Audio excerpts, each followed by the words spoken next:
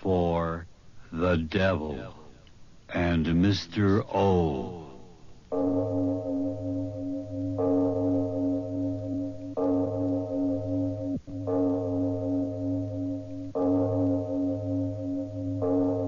Good evening. This is Van Christo. Welcome to the Van Christo Radio Theater. Tonight, we present another of the radio plays of Arch Oboler, the famed writer and producer of Lights Out. These collected plays, presented under the title of The Devil and Mr. O, represent radio drama at its finest. This is the theater of your mind, where you are about to enter the zero dimension. There are no boundaries or time limits here, only the depths of your own imagination. And now, to tell you about tonight's program, here is Mr. O. This is Mr. O. Arch Oboler. Have you ever wanted to turn time backwards to a pleasanter era, back to the days long before ticking atom bombs and air pollution and the inbred madness of our cities? Well, our story begins after a word from your announcer. The most natural. This is Mr. O again. Now picture this in your mind. We're in the Dordogne region in France. Beside a road shimmering in the heat of the midday sun stands a large, dusty limousine. The lid to the engine is open, and a begrimed little Frenchman tinkers with the mechanism. Within the car sits an Englishwoman, Kay Stanton by name. And next to her is Jim Brent, an American, a member of our own State Department's diplomatic corps. By the way, if you haven't turned out your lights yet, turn them out now and listen to Neanderthal.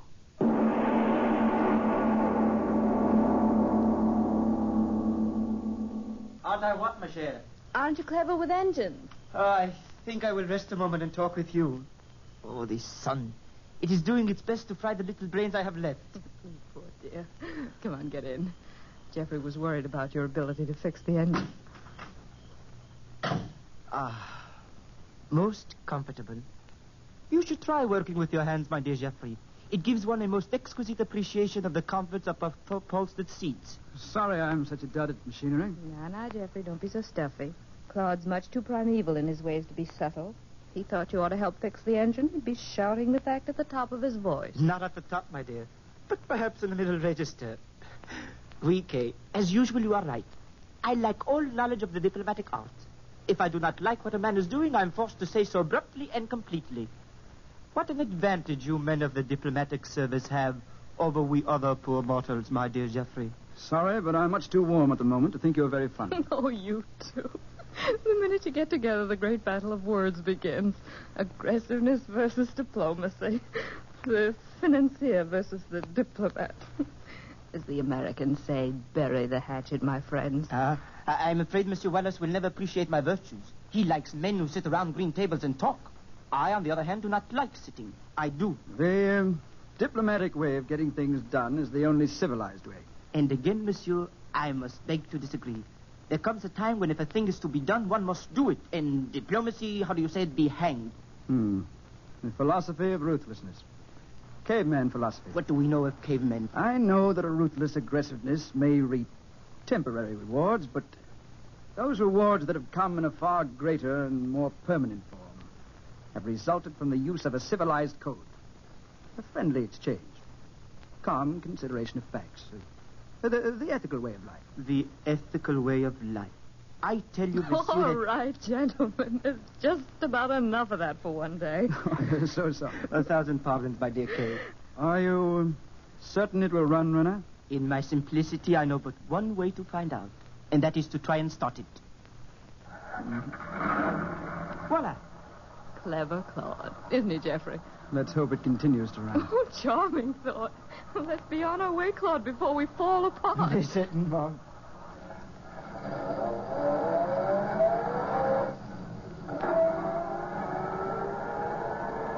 We're very late, Claude, so speed's the word. Right.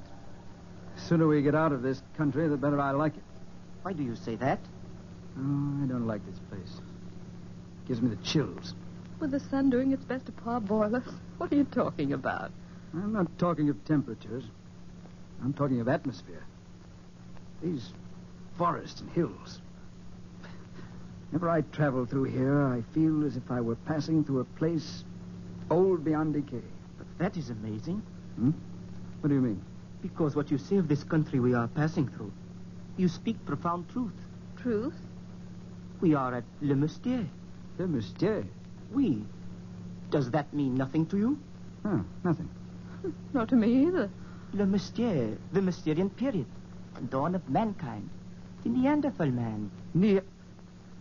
You mean here? We, here, in this country which you say is old beyond decay, were founded Neanderthaloid skeletons, what you call cavemen, men from the dawn of man's antiquity. Claude, are you serious? Some of the finest specimens of Neanderthaloid skeletons have been discovered in the caves right in this region. Really?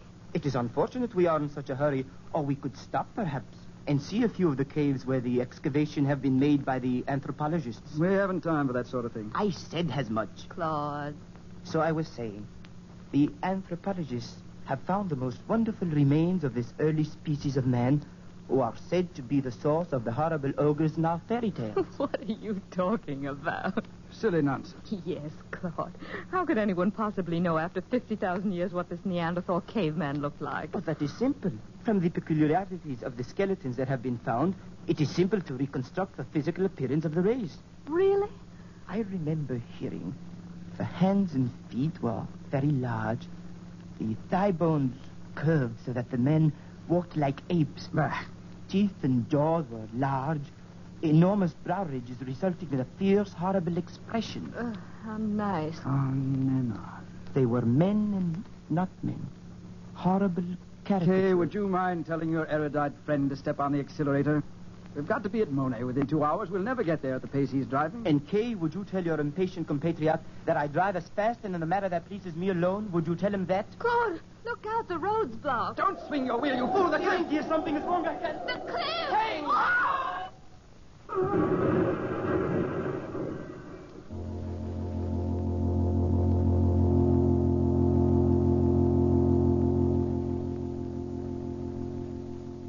Jeffrey, please open your eyes.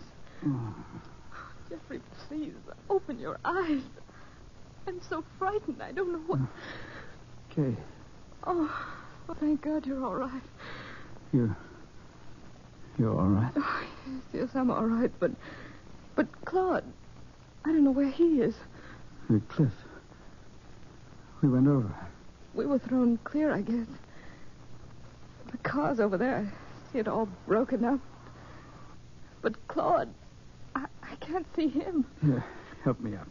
Oh, oh, what is it, Jeffrey? Oh, my arm. It's broken, I guess. Oh, Jeffrey, Oh, I'll be all right. Lucky to be alive. I don't understand going over that horrible cliff. And Claude, Back here, in the brush. Well, come ahead. Well, what's the matter? Are you hurt? My, my knee. Kay, are, are you all right? oh yes, Claire, all right, stay where you are. We'll come to you. We'll come to you. Don't move. Oh, Sorry, Claude. Got to get that knee bandaged. it is all right. A little pain is better than oblivion. Ah, Sorry, I can't be of any help, old man. This blasted arm of mine. it is all right, my friend. Kay is doing excellently.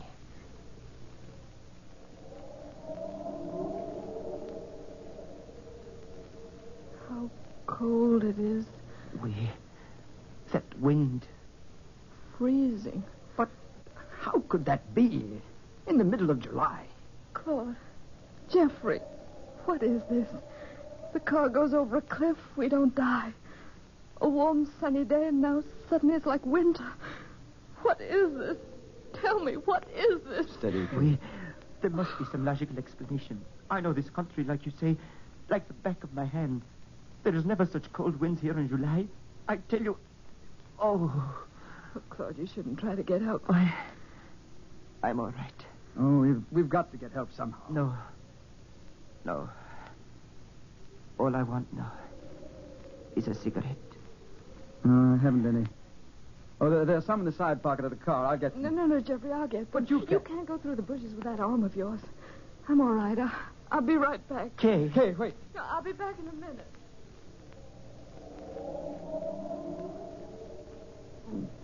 This infernal knee. Better sit quietly. Quietly, quietly. It is not in my nature to be quiet. A stick. Get me a stick. I'm not going to lie here the rest of my life. Get me a stick for a crutch and I... Wait, wait a minute. But I tell you... Wait, I tell you. There's someone coming. Kay? No, no, the other direction. But I do not see. There, over there to the right. There, don't you see? The bushes are being Yes. pushed back. Yes, I see. Some peasant will give us assistance. We... Now everything will be all right. Of course. Ah, there we are. He's in the clearing. Now he. Oh, Who is that? oh no. Claude. Who? Am I mad? This cannot be. He, he's looking at me. God. Yes. But. But who? Who? You do not understand? Understand what? Talk up. Did you not see him as I saw him? The short, hairy, twisted body, the head thrust forward, the neck bent like an ape, those enormous brow ridges, the broad, flat nose. You did not recognize. Well, well. Once, in your own British Museum, I saw a reproduction of a man like that. Huh? But never did I think that I would see him in life. I tell you, speak. Who was he? Who? A man of the caves. A Neanderthaler. Near? Are you insane? Why, the race is extinct 50,000 years. I tell you only what I saw, what I know. And I tell you you're mad. But you saw as I did. No. The thick, hairy body, the short, ape-like limbs, that misshapen face like, like something out of a nightmare. Yes, a nightmare of 50,000 years ago. A caveman comes out of the past. No, no, stop talking like that. It can't be, I tell you. It can't be. He's some madman wandering these forests, that's all. Why, cavemen died here 50,000 years ago. The past doesn't come back. I tell you, it doesn't. Why? Claude. Eh? Kay. Oh, Kay? Kay? Kay. Kay, where are you? Kay, where are you? Kay! Answer, Kay!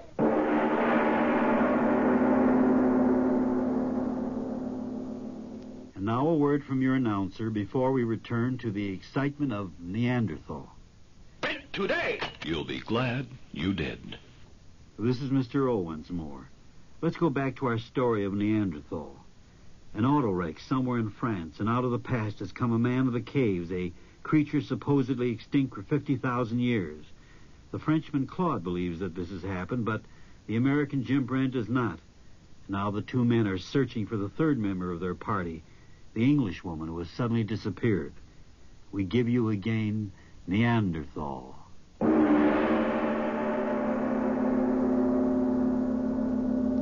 Well, it's nonsense, I tell you. Hallucination. Eh? Yes, yes, hallucination.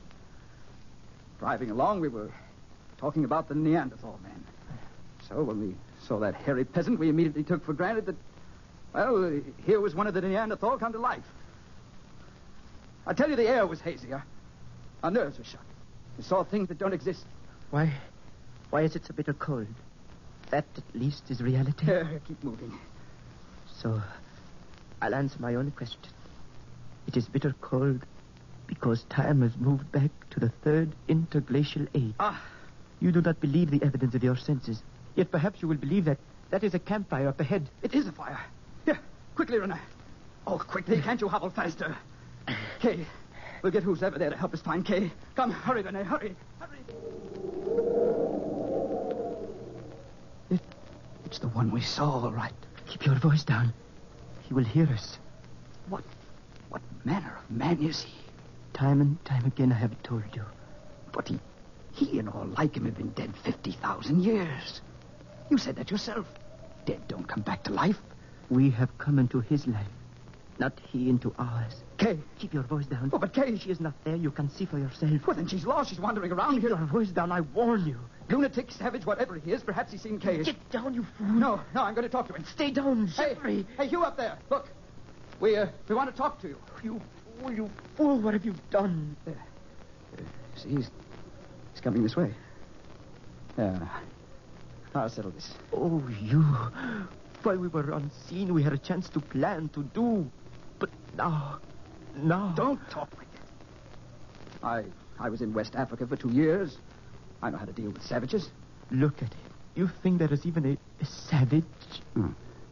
He stopped. Afraid of us. He's the ugliest beggar I've ever seen. Friends, old man. You see? Friends. Look, look, look, money. I bring you money. And pretty things. Mon Dieu, what a fool. Birds of money for him. Jeffrey, look out. Let me go, you Jeffrey. Friends, I tell you. Jeffrey, I can't ah, help ah, you. Ah.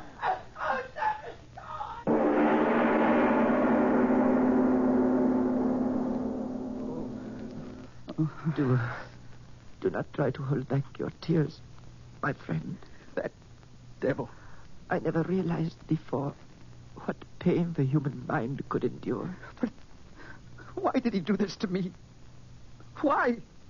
Do you ask the wolf why it kills? Oh, killing would be one thing, but Once I, I saw a gypsy break the wings of a wild bird. Ah, oh, Renee. Oh.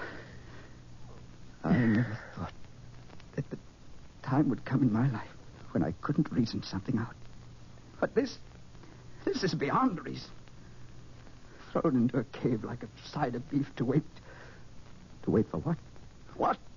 Oh, I Wait. only. Wait, What? someone is coming. I heard. I hear nothing. Listen. A woman. Kay. Catherine, is that you? Kay, answer. Oh, Jeffrey. Claude. Okay, you. Oh, Catherine, are you all right? Kay, where were you? No, no, you. Are both of you all right? Oh, we're all right. We don't matter. You, are you all right? You're right? dark in here. Are you all right? Tell me. Catherine, you. It is you that matters. What? No, no, listen. There's so little time. Eh? What? He's busy building up a fire. There's a chance if we run quickly. Run quickly. Yes, come. We. We're not at liberty to go, my dear. Why? A matter of, of broken bones. Oh, no. That is the way it is. Tell me what happened. Jeffrey, you. Claude, you. Tell me what happened to us. That old. Who is he? Is he really a Neanderthal? There is no doubt. But men like that have been dead for centuries. How did it happen? Why are we here? When the automobile went over the cliff, we went into another dimension of time. What? I don't understand. And I too understand a little. But can it be that events in time are static things? That everything which occurs remains in existence as life moves on further along the, the corridor of time? Then you mean when the automobile went over the cliff, in some way we went back into time instead of forward? We. No. No, that's impossible. Things exist when they exist, not afterwards. No. Now, there's a, there's a factual explanation to all this. Factual? Is not the pain of our bones fact enough? Is enough Wait. What is it? A chant of some sort. Why is he. What is he saying? What? The beginning of worship. A chant to the rising sun. What is happening to us? Only a few hours ago. So happy, the three of us. On our way to a party. Parties. Another age. We've got to do something. Strange. What? Only a few hours ago, I was the doer. And you, Jeffrey, the calm, poised diplomat of the green table. Stop talking nonsense. Huh? Listen. He's coming in here. For us. We. We've got to do something. Do you hear me? Do something. I won't die. I, I can't die. Do you hear me? Do something. I won't die like this. I can't. Jeffrey!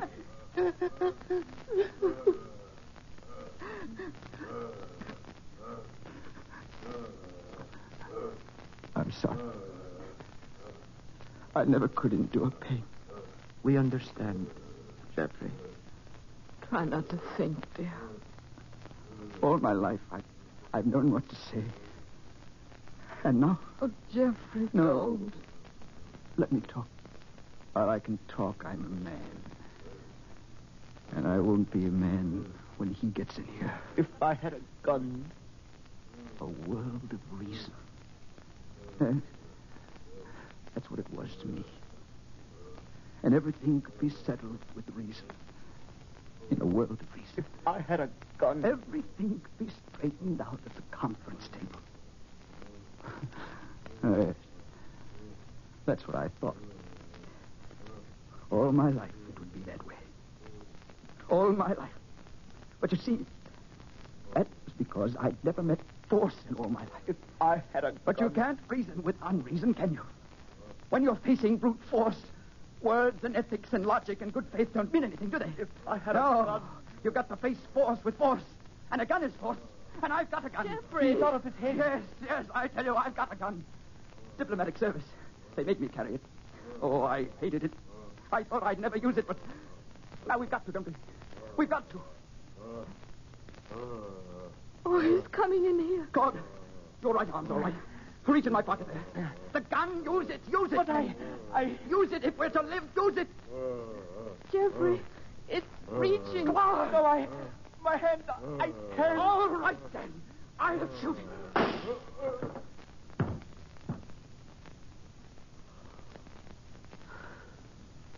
So. It's morning. We. Now, We go on living.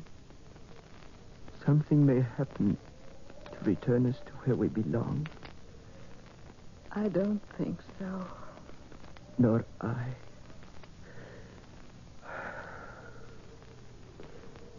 Perhaps we will be able to leave some record behind us so that the world of the future will know and understand this strange thing that has happened. This meeting of the present and the past. Jeffrey, don't just stare. It's over. Talk to us. I was thinking. I just killed a man. Yet, it's 50,000 years before I was born.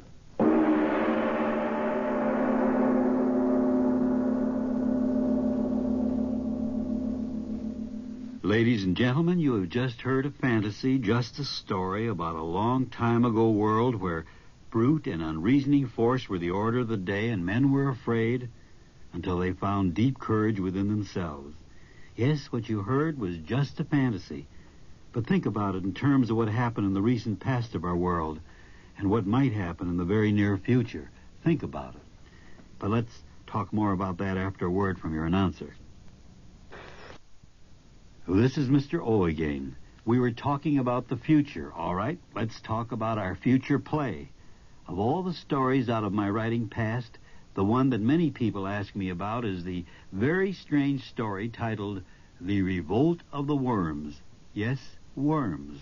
Those little night crawlers on your lawn, those strange, slimy creatures of the dark who plowed under the land long before mankind ever invented the plow.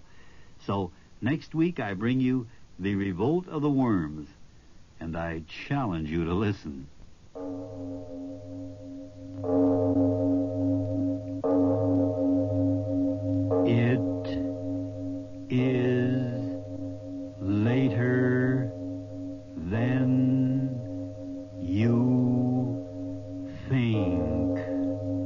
That's our story for tonight.